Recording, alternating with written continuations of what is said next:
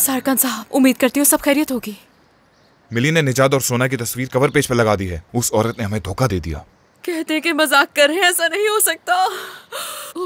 सोना को बताना होगा। बिल्कुल मत बताना। जल्दबाजी से काम मत लो ये क्या कर रही हो? ये मेरी वजह से हुआ है तो ठीक भी मैं करूँगा। वो औरत इस सबकी कीमत चुकाएगी देखना। उस औरत की क्या गलती है जो इसकी कीमत चुकाएगी? सारी गलती आपकी है आप है कसूरवार। अगर मैं सच कहूँ तो आज तक आपको समझ नहीं पाई आप किस किस्म के इंसान है। अब एक ही रास्ता बचा है की सच्चे दिल से आप उससे माफ़ी मांगे। उसके सामने रोए गिड़गिड़ाए। और जब तक आपको वो माफ़ ना करे माफ़ी मांगते रहे उससे। इसके अलावा कोई और रास्ता नहीं है आपके पास। और इसके अलावा? बस बस बहुत हो गया। जल्दी बैठो हमें जाना है।